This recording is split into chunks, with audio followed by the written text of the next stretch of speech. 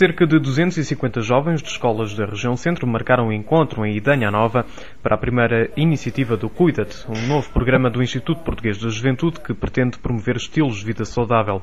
O programa é dirigido a jovens entre os 12 e os 25 anos, sendo fruto da colaboração entre o IPJ, associações e organismos públicos ligados à saúde e desporto, nomeadamente a prevenção da toxicodependência ou de doenças sexualmente transmissíveis como a SIDA.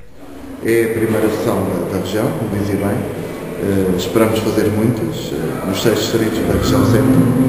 Vê, uh, é um momento muito interessante porque os jovens podem, numa primeira fase, ver uma peça de teatro que tem muito a ver com a vida deles, portanto, toca os temas que têm a ver com a, com a, atualidade e com a vida deles, em particular as questões da sexualidade,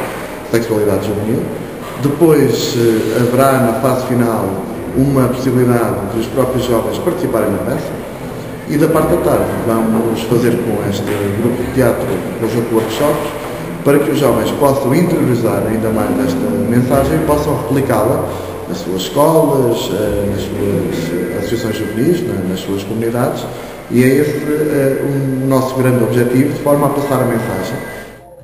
para passar a mensagem, o Cuida trouxe até a Idanha o grupo de teatro da Associação Usina, que apresentou sete pequenas histórias onde as relações afetivas na adolescência e o início da vida sexual foram alguns dos assuntos abordados. Em cada uma delas ficava um problema por resolver. Depois, os jovens escolheram as histórias que acharam mais interessantes para serem repetidas em palco, mas com o desfecho a vir das sugestões apresentadas por eles. A ideia aqui não é dar uh, uma orientação uh, específica sobre uh, o que efetivamente os jovens devem fazer, é pintar um quadro de liberdade onde os jovens possam, possam uh, fazer o seu percurso com alguma segurança e com mais, e com mais informação.